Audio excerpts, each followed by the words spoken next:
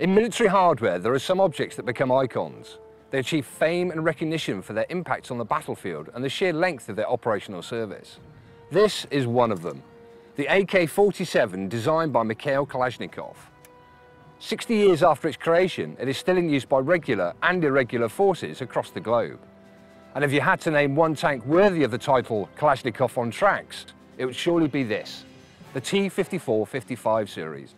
With its origins in World War II and from the same design team as the legendary T-34, the T-54-55 still soldiers on today around the Third World. Just about every aspect has been modified or upgraded, and while it couldn't hope to hold its own against a modern main battle tank, it is still a real threat in many of today's lower level conflicts. So we're here at the Muckleburgh Collection to take a closer look at this very significant machine and to understand just what made it into the most produced and one of the most longest serving tanks ever. The T-54 story starts with its designer, Alexander Morozov. He was part of the T-34 design team headed by Mikhail Koshkin, working on the transmission. But when Koshkin died suddenly in September 1940, Morozov took over. All efforts at the time were concentrating on getting the T-34 into service, and over time upgrading it. But Germany's Panther had come at a nasty shock at the Battle of Kursk, leading to the upgunning of the T-34 to 85mm, and a natural question, what next? Morozov and his team faced the constant problem of tank design, the trade-offs between armour, mobility and firepower. How to make a more effective medium tank than the T-34 without increasing the size and in turn, of course, the weight. Morozov solved this in a very ingenious and effective way by totally reorganising the interior layout. He got rid of the hull machine gunner, creating more storage for the larger ammunition. He turned the engine crosswise and placed the transmission behind it at the rear of the hull, driving the rear sprockets. This freed up more space for the fighting compartment and storage. On top of this, he used torsion bar suspension, which took up a lot less internal space than the old Christie suspension of the T-34. The first result of this thinking was the T-43 and then the T-44.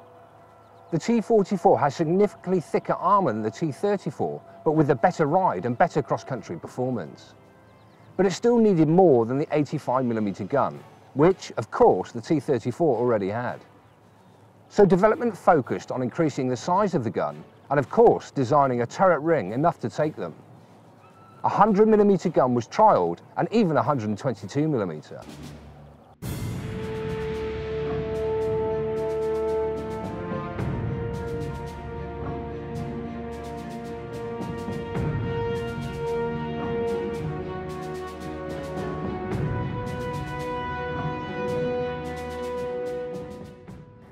The decision was finally taken to go ahead with the 100mm caliber, and two prototypes with the designation T44-100 were built, one with the 100mm D10 gun, the other with the LB1 gun. The D10 had already proved itself in the Su-100 tank destroyer, So with a redesigned turret, a new V54 engine and new steering, the tank went into production in 1945 as the T-54. But even redesigned, the turret was still a problem, with poor ammunition storage and dangerous shot traps. So it's changed yet again, this time to a turret similar to that of the IS-3 heavy tank, with a hemispherical shape and no awkward shot traps at the sides.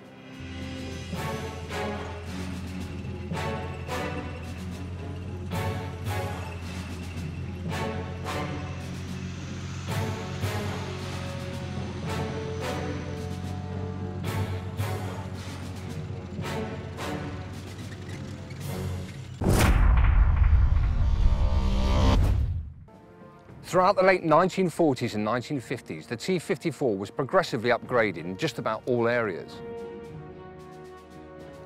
But by the mid-1950s, it was clear that more had to be done to protect the tank from nuclear and biological attack. So to achieve this, a major upgrade entered production in 1958, called the T-55.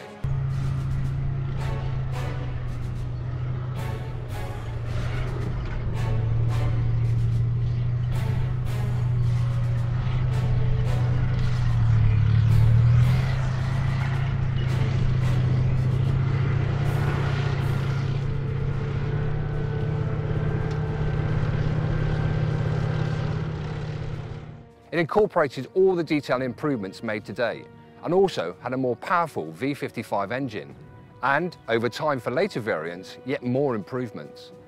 Stabilisers for the gun, better ammunition, improved fire control and sighting, and, later on, extra protection in the form of reactive armour.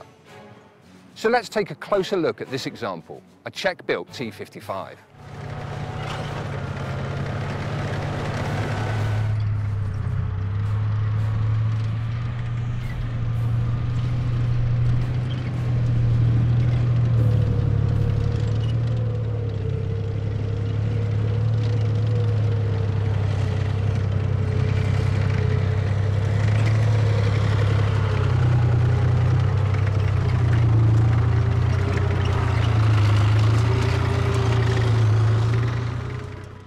Looking at this next to a T-34 shows just how clever Morozov was. The hull is just a little wider than the T-34-85, but about the same length. More importantly, the overall height is a lot less, presenting a lower profile to enemy fire. But despite this, it has thicker armour and mounts a bigger gun. Its armour is pretty good. With 200mm on the turret front 125 millimeters to 150 millimeters on the turret sides and 120 millimeters on the hull front, and also 80 millimeters on the hull sides. But just as important, the shallow slope of the front glacis and the smooth rounded turret not only give the tank a very low silhouette, but increase the effective thickness of the armour and help to deflect incoming shells. The gun is a 100mm D10T with a rifle barrel Note the fume extractor near the muzzle. This had a rate of fire between four and seven rounds per minute, with a maximum effective range of 2,500 metres. Looking at it from the sides, the first thing to spot is the uneven spacing of the road wheels, with a large gap between the first and second wheels. This is unique to the T54-55. Suspension, as mentioned earlier, is torsion bar, with a separate torsion bar for each wheel running across the tank. The tracks are wider than those of the T34-85, 580 millimetres instead of 500 millimetres, which means that the ground pressure is actually slightly less than its predecessors, even though the tank's weight is about four tonnes more. As I said before, the dry sprockets are now at the rear. Under here is the really clever bit. The engine is mounted crosswise, now, of course, we're so used to this nowadays in cars that it may seem a bit ordinary, but at the time it represented a real innovation. This is the V55 580 horsepower diesel engine, which was capable of pushing the T55 along at 50 kilometres per hour on the road and 30 kilometres per hour cross country. Add to this the mounting of the transmission behind the engine and everything from the engine forward is free space.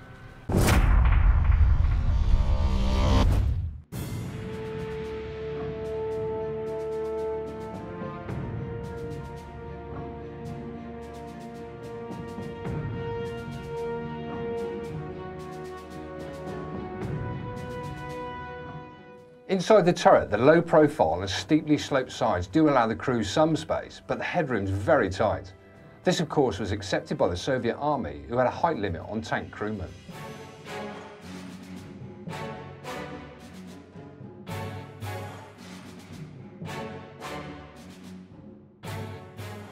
The commander sat here, roughly where I am at the moment, at the rear of the turret to the left. He had his own sight, and just behind me you can see the radio controls. In front of him was the gunner. He had a hand control for traverse and elevation with a firing button on top.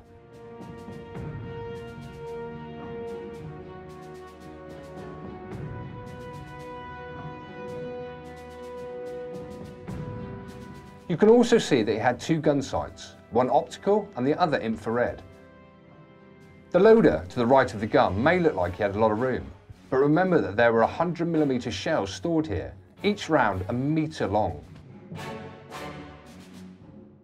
Up front, the driver had conventional controls. Two steering levers, tillers, as we tankies call them, with the gear change on his right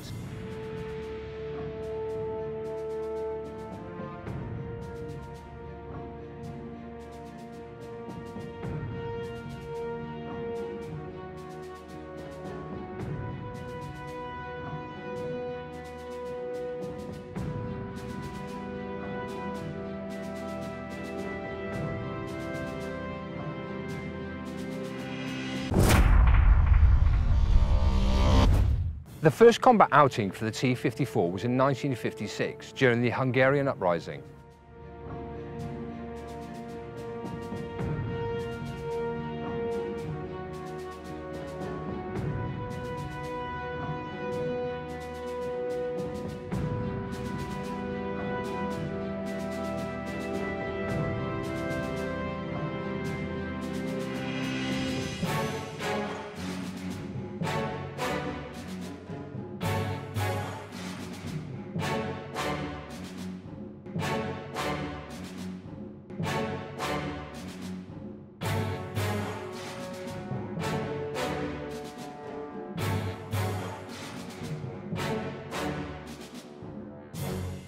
After that, it was deployed throughout the Warsaw Pact nations and was produced under license in various countries. In the final count, something over 100,000 of all types and derivatives were built, making it the most produced tank ever. Such was the quality of its design and the reliability of its performance that it still crops up to this day, nearly 70 years later, in low-intensity conflicts throughout the Third World.